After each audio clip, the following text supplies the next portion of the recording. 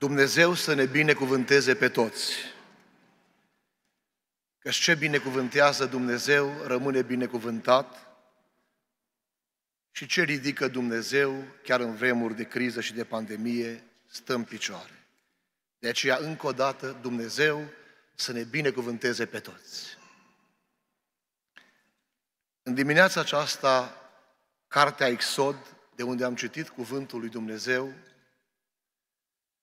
ne prezintă puterea lui Dumnezeu în acțiune, puterea credinței și răutatea diavolului care căuta cu orice preț să distrugă poporul Domnului. Puterea lui Dumnezeu în acțiune se remarcă în cartea Exod prin semne și miracole pe care Domnul le-a făcut în mijlocul egiptenilor, determinându-l pe faraon să cedeze în fața autorității dumnezeiești. Răutatea diavolului iară se remarcă prin planurile demonice pe care faraon le punea în aplicare sub influența celui rău.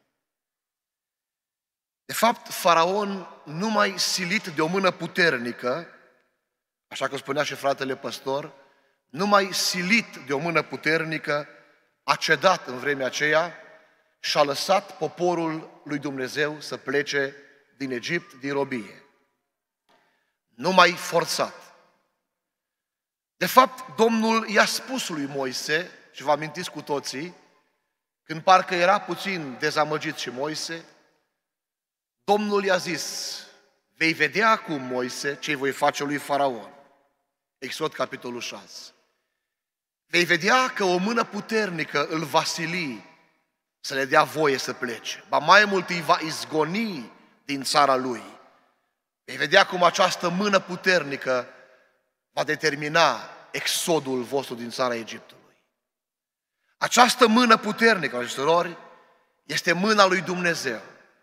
Lăudat să fie Domnul. Și noi ne rugăm aici, la Biserica Betel, ne rugăm ca mâna Domnului să fie peste biserică. Mâna Lui să ne ajute și pe noi în vremea aceasta și să lucreze la cauzele noastre mâna lui Dumnezeu. Dumnezeu să fie cu noi. Faraon atunci a întrebat cu ironie, vă amintiți asta, cine este Domnul ca să las pe Israel să plece? Când Moise insista, lasă pe Israel să plece, a venit ceasul eliberării noastre. Domnul Dumnezeul nostru ne-a spus să-ți transmitem, lasă poporul să plece. Faraon, cu o ironie demonică, am putea spune, a întrebat, cine este Domnul ca să las pe Israel să plece? Și pentru că a spus aceste cuvinte, pentru că a întrebat cu această ironie, a simțit și a văzut cine e Domnul. A simțit pe pielea lui, el și poporul care îl coordona, a văzut cine e Domnul, a simțit cine e Domnul și cred că a înțeles că toți Dumnezeii lui sunt o nimica toată, însă Dumnezeul evreilor e Dumnezeul cel viu, Dumnezeul cel real. Lăudat să-i fie numele care e numele lui? Domnul oștirilor. Are multe oștiri, de aceea se numește în Biblie Domnul oștirilor.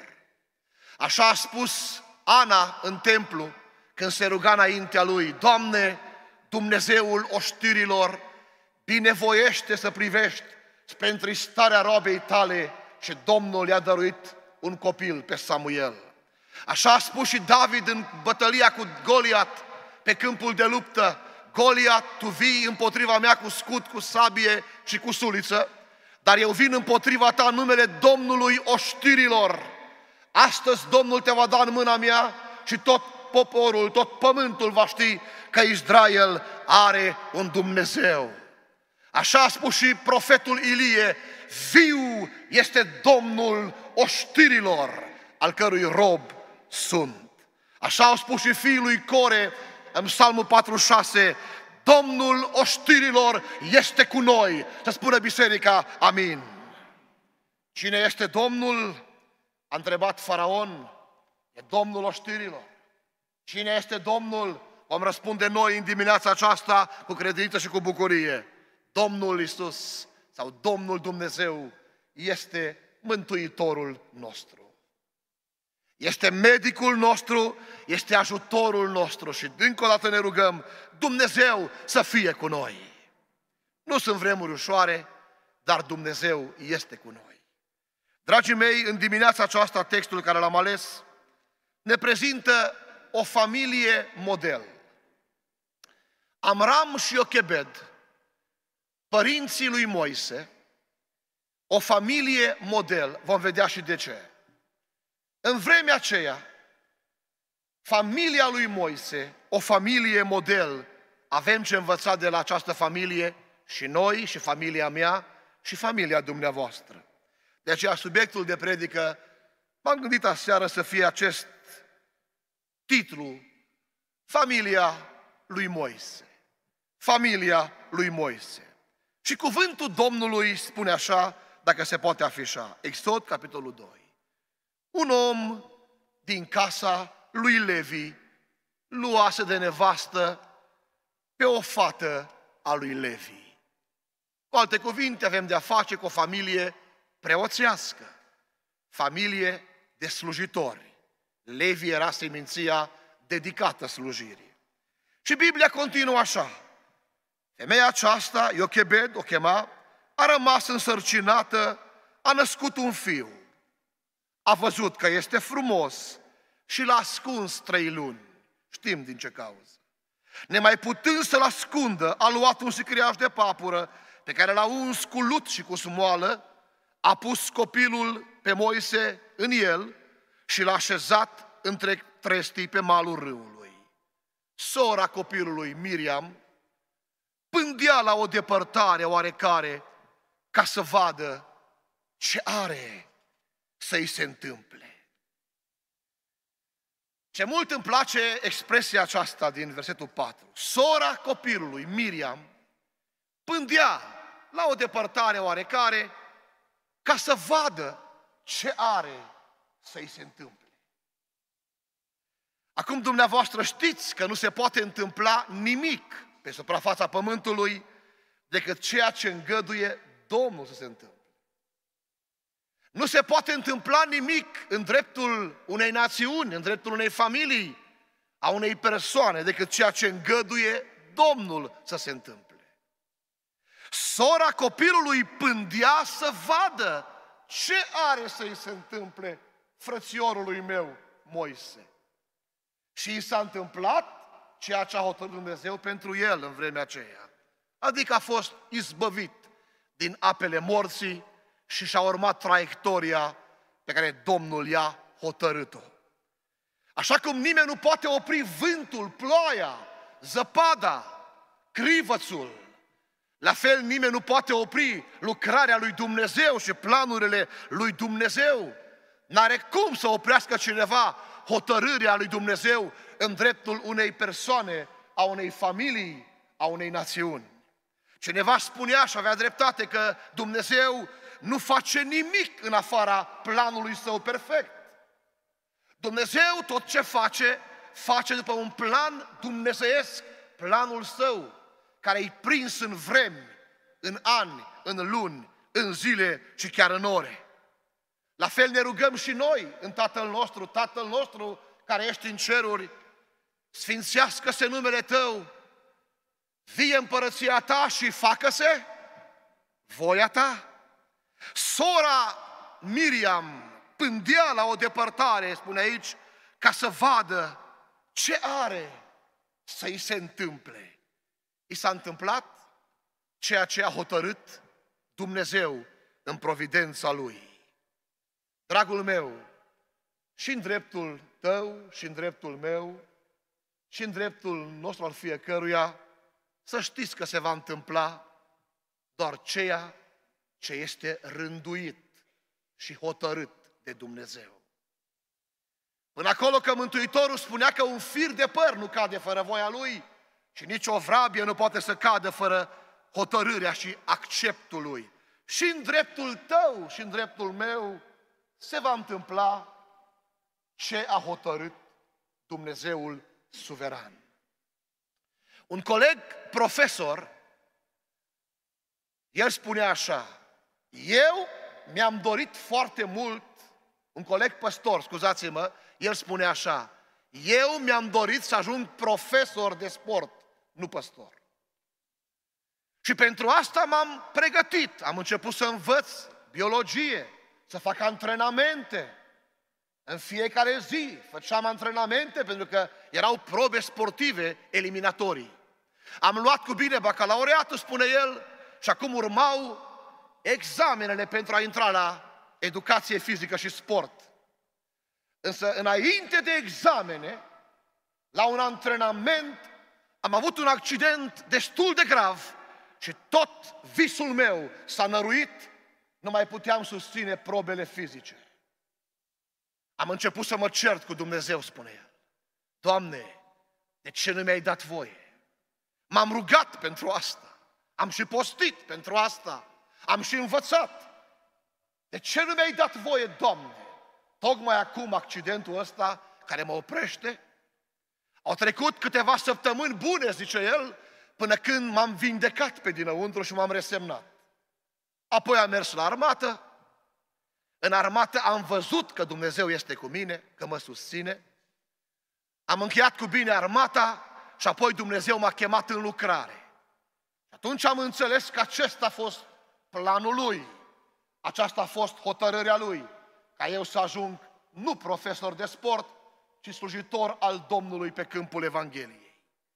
Și în dreptul tău și în dreptul meu, ascultă-mă, nu se poate întâmpla decât ceea ce va hotărâ Dumnezeu, pentru că Dumnezeu e suveran, e suveran.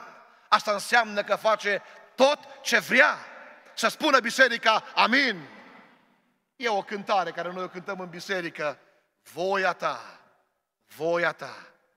Doamne, în veci, voia ta să mă umple de plin pentru tine. Amin. Apoi, făgăduințele Domnului toate se împlinesc. Tot ce hotărăște Dumnezeu va avea loc, tot ce a promis Dumnezeu se va împlini. Mi-aduc aminte de profetul Habacuc. El spune în capitolul 2 așa, m-am dus la locul meu de strajă și stam pe turn ca să veghez și să văd ce îmi va spune Domnul. Acum eu parafrazez. Și Domnul i-a spus, să știi că prorocia se va împlini, tot ce ai primit din partea mea va avea loc. Dacă întârzie, așteaptă-o că se va împlini. Pentru că tot ce spune Dumnezeu, făgăduințele Lui, vor avea loc. Dragii mei, cea mai mare făgăduință a Domnului Isus este revenirea Lui după biserică. E cea mai mare făgăduință a Domnului pentru noi. Isus Hristos se va întoarce și noi credem că Domnul revine. Cel mai mare plan pe care l-a făcut Dumnezeu în sine însuși este răpirea bisericii la cer în trupuri nemuritoare. Și noi credem că răpirea va avea loc, pentru că în evrei spune Biblia așa, încă puțină și foarte puțină vreme și cel ce vine va veni. Vino, Doamne Iisus! Dumnezeu e suveran, Dumnezeu rămâne suveran. Și dumneavoastră, ca și mine, de altfel știți, că și atunci, în vremea lui Moise, Dumnezeu a rânduit totul la milimetru. Am să spun imediat. Și atunci, ca și azi, Dumnezeu a rânduit toate evenimentele la milimetru. Moise a fost pus într-un coșuleț, pe râul morții, dar din acel coșuleț a ajuns la curtea lui Faraon, cum s-a citit cuvântul Domnului, a ajuns prinț și apoi a ajuns liderul poporului evreu, cel care i-a eliberat, pentru că așa a hotărât Dumnezeu în dreptul lui. Încă o dată, vreau să fim siguri în mintea noastră că totul se întâmplă după hotărârea și planul lui Dumnezeu și să ne abandonăm în mâna Domnului și să ne rugăm să se facă voia Domnului cu noi și Domnul să aibă grijă de noi toți. Amin. Și acum să revenim la familia lui Moise, subiectul propus de predică, familia lui Moise. Ce am putea spune noi azi despre familia lui Moise? Ce spune acest text, Exod, capitolul 2? În primul rând, dragii mei, familia lui Moise a fost o familie greu încercată. Asta am înțeles din cuvântul Domnului din Exod, capitolul 2 și Exod, capitolul 1. În primul rând, Moise se naște într-o familie greu încercată. De ce spun acest lucru? Pentru că în perioada aceea poporul evreu era rob în Egipt. Era persecutat de faraon, cum se amintea. Dacă vom citi capitolul 1 din Exod, vom înțelege imediat în ce condiții grele s-a născut micuțul Moise, condiții de mare persecuție pentru poporul evreu. Pentru că faraonul din timpul acela era supărat că poporul evreu a crescut prea tare, devenise prea puternic și de aceea și-a făcut un plan să-l slăbească. Ăsta a fost scopul lui Faraon, să anihileze puțin puterea militară și puterea demografică a poporului evreu. Și a făcut un plan. Mai întâi, munci grele. I-a pus pe evrei să muncească foarte greu și periculos. Sunt convins că mulți au murit în timp ce au construit orașele Pitom și Ramses, că cu acești evrei a construit faraon orașele Pitom și Ramses. Munci grele. Dar Biblia spune așa, cu cât îl asuprea mai mult, cu atât devenea mai puternic și mai numeros. Pentru că dacă Domnul este cu un popor, cu o familie, cu cineva, nu poți să-l anihilezi și nu poți să-l distrugi, pentru că e Domnul cu el. Noi ne rugăm în perioada aceasta de pandemie, Dumnezeu să fie cu noi. Ce mult contează să fie Domnul cu cineva. Contează. Și faraon, văzând că nu-l poate slăbi prin munci grele, mai face un plan ca să-l slăbească. Și anume, ia o decizie demonică, le dă poruncă moșelor din Egipt să omoare orice copil de parte bărbătească care se va naște în poporul Israel. Ba mai mult, dă poruncă poporului său și tuturor că au libertatea să ia orice copil, orice băiețel, să-l arunce în râul Nil ca hrană pentru crocodili. Dați seama ce poruncă demonică dă acest faraon? Scopul declarat era să slăbească poporul iudeu. Să-l slăbească. Nu la voia întâmplării, acest faraon din vremea lui Moise este comparat cu diavolul. Se spune că e simbolul diavolului, pentru că la fel face și diavolul. Încearcă să slăbească poporul. Dacă nu-l poate anihila total, măcar să-l slăbească în credință, să-l slăbească în rugăciune, să-l slăbească în viața spirituală. Și în acest sens și diavolul, ca și faraonul de atunci, încearcă prin munci grele. Asta înseamnă ispite, atacuri demonice, tot felul de munci spirituale la nivelul sufletului. Dacă nu poate așa, atacă copiii, direct copiii, direct familia, să te lovească în familie, să te slăbească, să mă slăbească. Dar Domnul să fie cu noi. Și din nou zic, Domnul să fie cu noi, cum a fost cu poporul evreu. În primul rând, familia lui Moise, ce putem spune despre ei? O familie greu, greu încercată. În astfel de vremuri s-a născut micuțul Moise, cel ce va deveni eroul național al poporului evreu. Mi-aduc aminte acum că Ștefan a amintit și el în fața Parlamentului ebraic acest moment. Dacă se poate afișa, fapte 7 cu 19. Uitați ce spune diaconul Ștefan în fața cărturarilor, fariseilor, amintește acest moment greu din istoria lui Israel. Fapte 7 cu 19. Împăratul acesta, spunea Ștefan, a uneltit împotriva neamului nostru, a chinuit pe părinții noștri până acolo ca să-și lepe de pruncii să nu mai trăiască. Dar pe vremea aceea s-a născut Moise, care era frumos înaintea lui Dumnezeu. Ce îmi place expresia aceasta a lui Ștefan. În vremea aceea, totuși, grea, s-a născut Moise. Cu alte cuvinte, dragii mei, pe Dumnezeu nu-L poate împiedica nicio vreme să-și continue planul și lucrarea. Pe Dumnezeu nu-L poate împiedica nimic să-și continue voia, lucrarea. În vremea aceea, spune Ștefan, prin Duhul Sfânt, când toți erau descurajați, tocmai în vremea aceea Dumnezeu a îngăduit să se nască Moise. Pe de altă parte, această expresie îmi dă voie să spun că Dumnezeu are slujitori în orice vreme. Și în vreme bună și în vreme grea. Dacă Dumnezeu ne-a rânduit să fim pentru această vreme, noi în viață, să ne ajute Dumnezeu să mergem înainte. Să ne ajute Domnul să mergem înainte. Nu-i vreme ușoară, e vreme grea. Dar în vremea aceasta, frați și surori, noi suntem Biserica Domnului să mergem înainte. Doamne ajută-ne! Dumnezeu are întotdeauna slujitori în orice vreme. A plecat Iosif, Dumnezeu a ridicat pe Moise. A plecat Moise, l-a ridicat pe Iosua. Și am putea continua cu lanțul de slujitori care au fost chemați în vremea aceea pentru poporul evreu. Întotdeauna Dumnezeu a avut ultimul cuvânt. Familia lui Moise, în primul rând, ca idee, a fost o familie greu încercată. Dumneavoastră vă gândiți ce dramă trăiau acei părinți?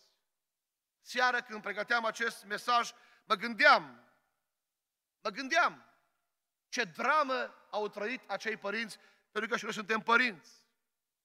Oricând soldații lui Faraon puteau să vină în control și să intre prin case, nu-i oprea nimeni tot ce prindeau, băiețel, să ia și să ducă. A gândit, mă gândeam aseară de câte ori o fi tresărit Iochebed când auzea pași pe drum, ziua sau noaptea. Fiind soldații după Moise, Biblia spune aici că l-a ascuns trei luni, apoi nu s-a mai putut. Un copil la trei luni deja începe să plângă. Se pare că Moise era un copilaș vocal. Trei luni l-a ascuns, spune Exod 2, nu s-a mai putut. O familie greu încercată, familia lui Moise. Dar poate și familia ta e încercată în vremea aceasta. Nu numai familia lor, poate și familia ta, frate și soră, e încercată în vremea aceasta. Nu este ușor în încercare. Am trecut și poate vom mai trece ca familie, nu? Fiecare de aici. Și nu este ușor în încercare. Dar ne rugăm ca Dumnezeu să fie cu noi. Eu te îndemn să apelezi la Dumnezeu în încercare. Să te rogi în încercare, să nu te duci în cealaltă parte, să vorbești cumva la adresa lui Dumnezeu ce nu trebuie. Mai bine te rogi, aștepți, apelezi la Dumnezeu în încercare. Așa ne învață Biblia și să aștepți. Biblia spune, cheamă-mă în ziua necazului, eu te voi izbăvi, iar tu mă vei proslăvi. Știam aseară despre o fabrică textilă cu multe mașini de țesut. În această fabrică textilă cu multe mașini de țesut era un anunț. Dacă aveți probleme cu mașinile, dacă aveți și vi se încurcă firele, apelați la șeful secției. Știam că o doamnă care lucra acolo avea probleme cu mașina, i s-au încurcat toate firele și de rușine n-a vrut să apeleze la șeful secției, a încercat ea să aducă rezolvare problemei. Dar n-a reușit, mai rău s-a încurcat. Atunci s-a dus la șeful de secție și a spus, vă rog să mă ajutați, nu reușesc. Omul a venit, a ajutat-o și apoi a spus așa, ce scrie aici? Dacă aveți probleme și vi se încurcă firele, apelați la șeful de secție. Înțelegi ceva, dragul meu, în dimineața aceasta? Dacă traversezi încercări, probleme cu familia, cu viața personală, eu te îndemn asta să faci. Apelează la șeful bisericii, am putea spune. Apelează la capul bisericii. Apelează la Domnul Isus Hristos. Pentru că Domnul a spus așa, cereți și vi se va da, căutați și veți găsi, bateți și vi se va deschide. În vremuri grele, asta trebuie să facem, să vorbim mai mult cu Dumnezeu și să ne încredem în El. Eu zic Dumnezeu să ne ajute la toți. Familia lui Moise, în primul rând, o familie greu încercată. Dar apoi, în al doilea rând, am remarcat în acest text biblic că familia lui Moise nu numai că a fost greu încercată, dar a fost o familie cu frică de Dumnezeu. A fost o familie cu frică de Dumnezeu. De ce spun acest lucru? Nu s-au atins de viața micuțului Moise. Nu s-au atins de viața micuțului Moise. Porunca era generală, oricine poate lua și arunca copilul în râul Nil. Numai Dumnezeu știe câți copii au murit în perioada aceea, câți copii nevinovați. Și la fel este și astăzi, în secolul 21, numai Dumnezeu știe câți copii încă nenăscuți sunt uciși cu bestialitate. Știu că doare ceea ce spun și poate deranjează, dar numai Dumnezeu știe și astăzi câți copii n-au mai văzut zorii dimineții și știm din ce cauză. Ce se întâmplă la ora actuală, ce spun statisticile. Sub România vie mai este o Românie moartă. Familia lui Moise, o familie cu frică de Dumnezeu. Nu s-au atins de viața micuțului Moise. Dumneavoastră vă gândiți ce s-ar fi întâmplat dacă l-ar fi aruncat în râu? Mai era un Moise? Mai era un eliberator al poporului evreu? Mai era un om pe care Domnul să-l cheme lucrare?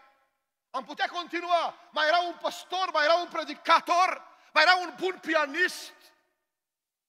Oamenii ăștia trebuie să apreciați. Oameni cu frică de Dumnezeu.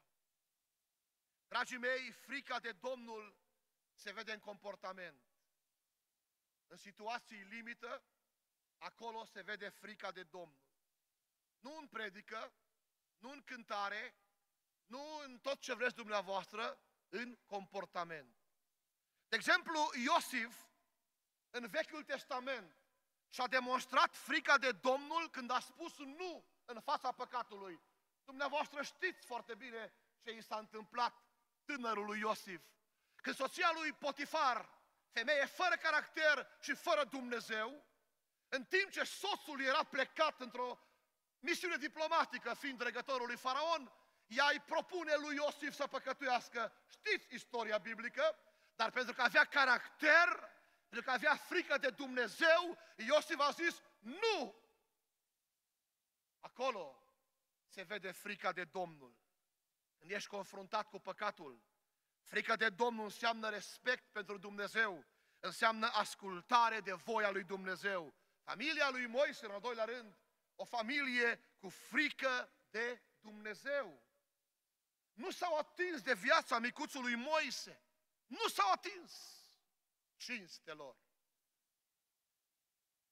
Un coleg, păstor, într-un cerc mai restrâns, ne povestea odată experiența dramatică pe care a avut-o în timpul sarcinii soției lui. Unul din copii a avut probleme cu sarcina sora și s-au dus la doctor și doctorul cu nonșalanță le-a spus scăpați de sarcina aceasta, mai aveți copii, mai faceți și alții, o să fie bolnav, o să fie... Știți cum se întâmplă în cabinet, se vorbesc multe. Uh, s-a uitat la el pastorul și a spus, domnule, dumneavoastră ne cereți nouă să ne ucidem propriul copil? Cam asta ar însemna să scăpăm de sarcină. Eu vă dau doar sugestii, nu a spus colegul acesta. Noi nu atingem viața acestui copilaș, noi îl primim așa cum ne-l dă Dumnezeu. Vreau să vă spun că Dumnezeu a fost martor la discuția aceea din cabinet.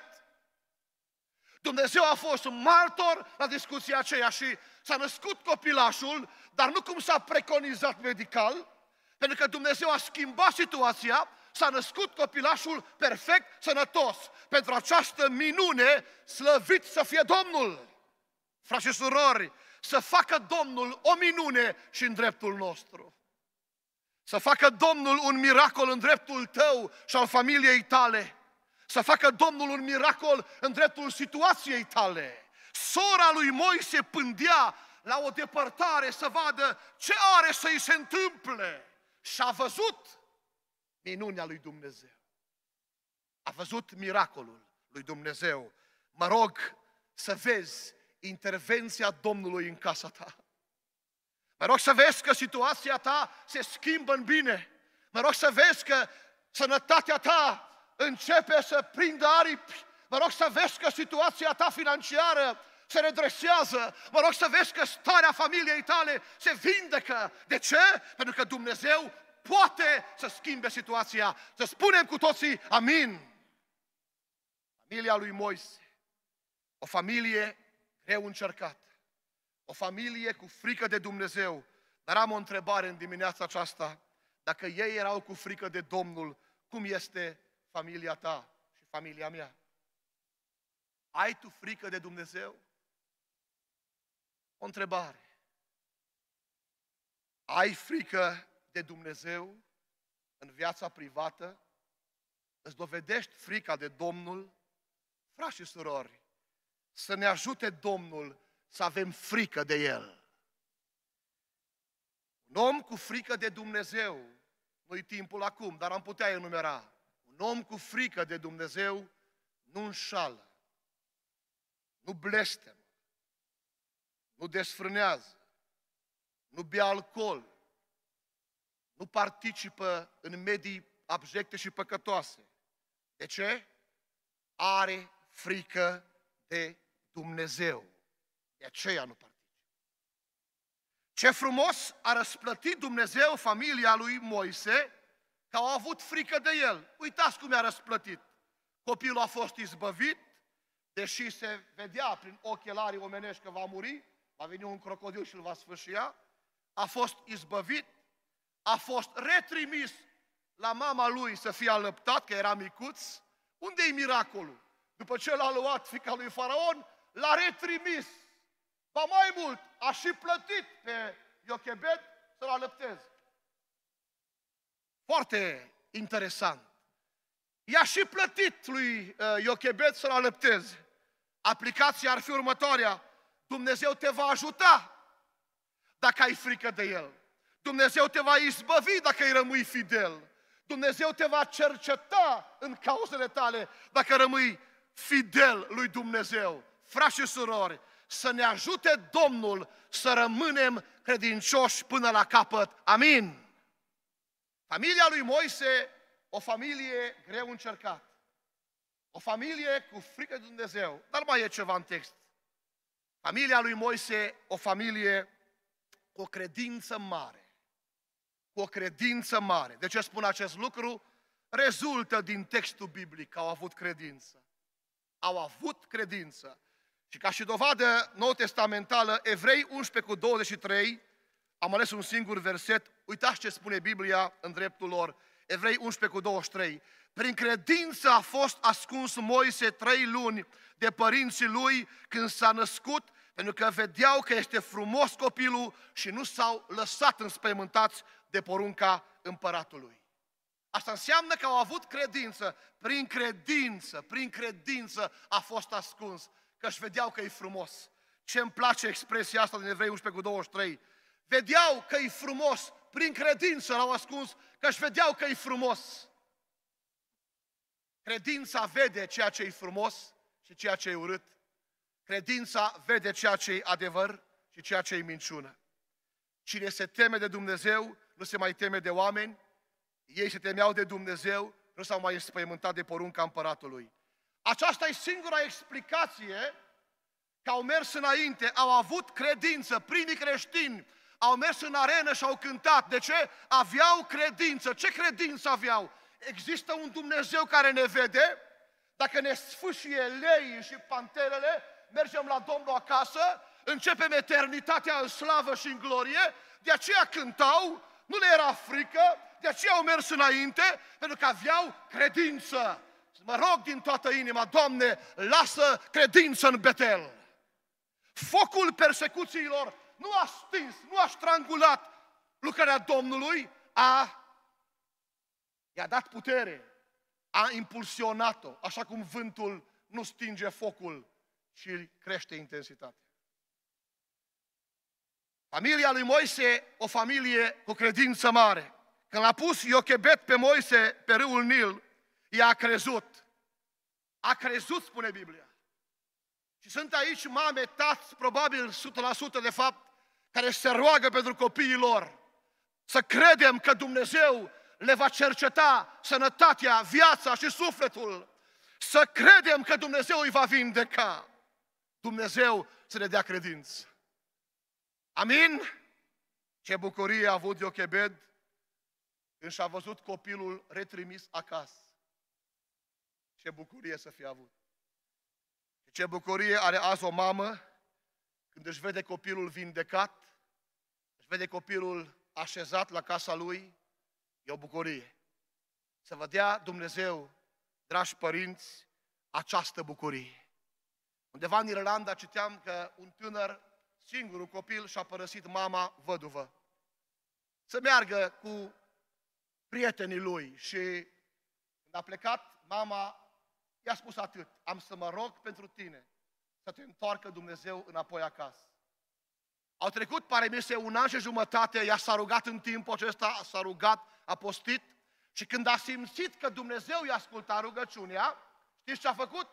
A luat niște afișe mari pe care a scris, Fiul meu, întoarce-te acasă.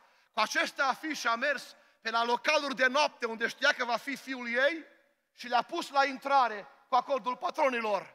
Și într-o noapte, băiatul ei rebel, după un an jumătate, dă de acest afiș al mamei sale, fiul meu, întoarce-te acasă. A fost ca o săgeată în inima lui. Duhul Sfânt i-a atins inima în clipa aceea și noaptea aceea s-a întors. Dar în spate era rugăciune, era post. Frați și surori, familia lui Moise, o familie cu credință mare. Am la final o întrebare. Tu crezi că Dumnezeu te poate ajuta? Tu crezi că Dumnezeu te poate cerceta? Tu crezi că Dumnezeu te poate vindeca acum la final de slujbă? Crezi că Dumnezeu poate hotărâ izbăvirea ta? Doamne, dă-ne credință! Sunt copleșit de suveranitatea lui Dumnezeu din acest text. Sunt copleșit. Când sora lui Moise, Miriam, i-a spus, i-a spus fetei lui Faraon, vrei să schemi o doică să-ți alăpteze copilul scos din Nil? Ea a răspuns da. Dar eu vă spun că putea spune nu, că nu se cunoștea cu Miriam, fata lui Faraon. Îi putea spune ușor, nu, nu știu cine ești. Ce doi că mi-aduci tu mie? Am eu fetele mele care se vor ocupa de asta. A spus da. Știți de ce? Pentru că în spate era un Dumnezeu suveran care le controlează pe toate până în cele mai mici amănunte. De aceea crede că acest Dumnezeu poate hotărâ izbăvirea ta, poate hotărâ intervenția Lui pentru familia ta sau pentru cauza ta. Dumnezeu să ne dea credință. Dumnezeu să ne dea credință. Crezi că te poate cerceta? Crezi că te poate ajuta? Cât de măreț e Dumnezeu, scrie Costache Ioanid. Văd marea cu talazuri grele. Mă înalți pe munții de bazalt și zboară gândul printre stele tot mai înalt. Cât de măreț e Dumnezeu. Să ne întoarcem acasă cu acest gând. Dumnezeu e suveran și El are puterea să lucreze în casa mea și în viața mea. Prin credință a fost pus Moise, o familie cu mare credință. Aici, la inimă, la minte, numai Dumnezeu poate lucra. Și am să închei cu experiența unui pacient care a vizitat medicul psihiatru și a spus așa, domnule doctor, eu nu mai am liniște, eu nu mai am pace, eu nu mai am bucurie în suflet, am nopți nedormite. Dați-mi ceva, spuneți-mi ce să fac. Nopți nedormite. Doctorul s-a uitat la el și a făcut o glumă. Știți ce a zis? Auzi, tu ai nevoie de distracții. Tu ai nevoie de veselie, de bună dispoziție. Tu de asta ai nevoie. Uite, în oraș, tocmai este acum un bufon, un artist. Îi face pe toți să râdă. Du-te acolo la spectacolele lui. Te vei vindeca probabil, râzând și distrându-te. E aici în oraș acum un artist, pe toți îi face, un comic să râdă. Pacientul s-a uitat la el și a spus, domnule doctor, eu sunt comicul din oraș, nu mă cunoaște nimeni, de aceea am venit aici la dumneavoastră, venind din altă parte. Eu sunt comicul acela. Înțelegi această ilustrație? Numai Domnul Isus are acces la inimă, la suflet. Sunt probleme unde numai Dumnezeu poate, prin puterea Lui și autoritatea Lui. Eu mă rog ca în dimineața aceasta Domnul să vindece suflete. Domnul să vindece sentimente rănite. Și dacă este cineva aici, bolnav, pe dinăuntru sau în trup, Domnul să-l vindece. Frați și surori, acestea au fost câteva gânduri din mesajul din dimineața aceasta. Familia lui Moise, ce am putut învăța eu și apoi dumneavoastră de la familia aceasta? Familia lui Moise o familie greu încercată. Și poate și tu ești încercat. Familia lui Moise, o familie cu frică de Dumnezeu, să-ți dea Dumnezeu puterea să-ți dovedești frica de El în toate circunstanțele vieții. Familia lui Moise, o familie cu credință mare, Dumnezeu are ultimul cuvânt, Dumnezeu va interveni. Într-o astfel de familie încercată, cu frică de Domnul, cu credință, s-a născut eroul național al evreilor, Moise, într-o astfel de familie. Dar noi știm pe cineva mult mai puternic decât Moise. Mult mai puternic decât Moise. Este Domnul Isus Hristos. Și în numele Lui noi am fost mântuiți, am fost iertați, am fost eliberați și suntem protejați până la capăt. Mă rog în final, în numele Domnului Isus Hristos, Biserica Betel să primească putere să meargă înainte. În numele Domnului Isus Hristos, Biserica Betel să fie protejată. În numele Domnului Isus Hristos, Biserica Betel să aibă pace și liniște. Și la capătul cărării noastre să ajungem nu în casa lui Faraon, nu în prezența unui faraon omenesc, ci în prezența Domnului Isus Hristos. De aceea să mergem înainte cu pocăință și cu smerenie. Amin.